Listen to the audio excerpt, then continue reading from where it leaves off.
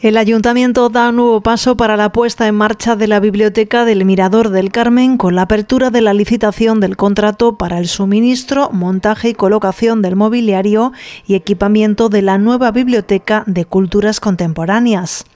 Este espacio cultural se convertirá en un referente dadas sus especiales características y oferta de medios y servicios.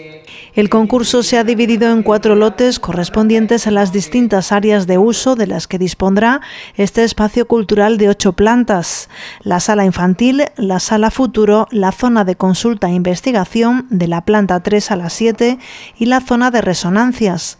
El presupuesto base de licitación se ha fijado en 296.666 euros, IVA incluido.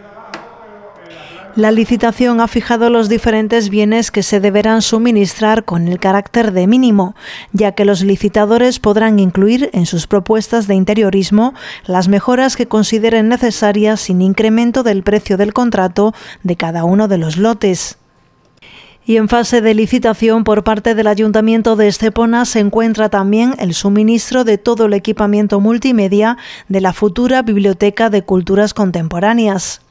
El proyecto se basa en crear una biblioteca transversal, innovadora, cercana, accesible y orientada al futuro. Un espacio pensado para la comodidad y el aprendizaje de las personas, y no para el mero almacenaje. El fin de este espacio público es crear un lugar de encuentro, de estudio y de investigación.